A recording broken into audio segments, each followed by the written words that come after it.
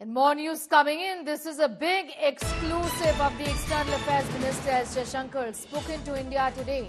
Puts on record the Nijjar controversy with the US. S. Jaishankar says probe appeal by US fair enough. Says that US handled the Nijjar episode sensibly.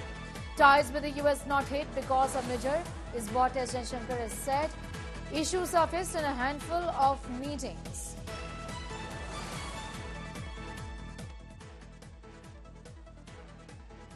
So I want to spend a moment on India's relationship with the United States, which has been developing significantly over the last several years and especially on your watch, but where apparently we've had some break bumps recently. One was this talk that President Biden didn't come to the Republic Day uh, because they were upset with the way India was uh, trying to bump off uh, alleged Khalistani separatists in the United States, and that's something that America is upset about. Some American senators. Some American senators and congressmen have spoken to say that the drones which are being given are conditional to India acting on the Nijjar case and on the Pannu case. Uh, one of the reasons why uh, uh, the visits which were expected to happen uh, in January didn't happen, we were trying to also, we were trying to get a quad meeting. yes. Huh?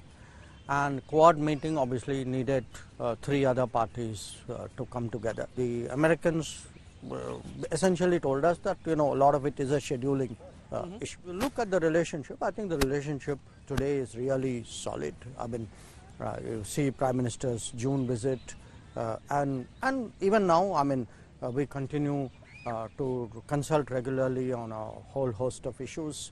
Uh, the drone issue. The Americans have a very unique process of decision making.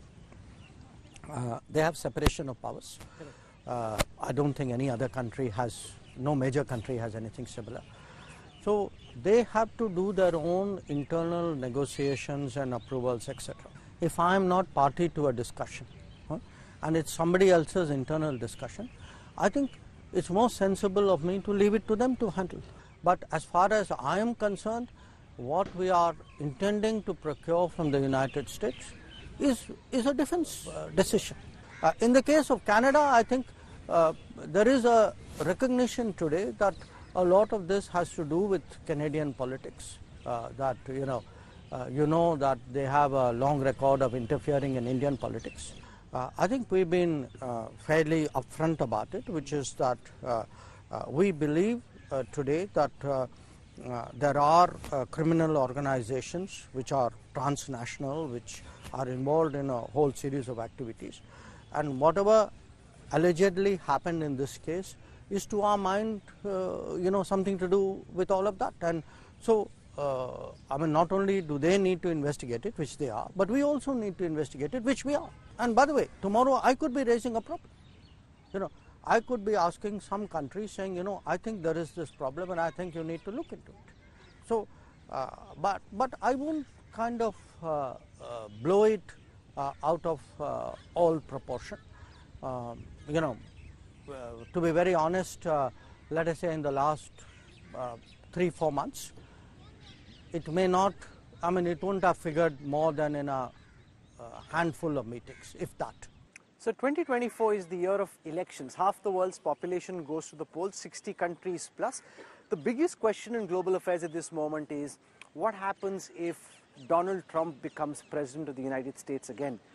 Does that impact your prism going past November? Or do you think India is one of those few countries where it doesn't really matter whether President Biden comes back or Donald Trump does?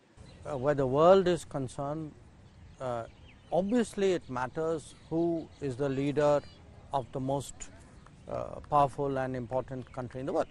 Uh, the fact that there would be debates about it, to me, is very natural. But where India is concerned, yeah, there are, I think, two aspects to it. Uh, one, a structural aspect, which is today we have grown the relationship in so many different areas and so many different facets.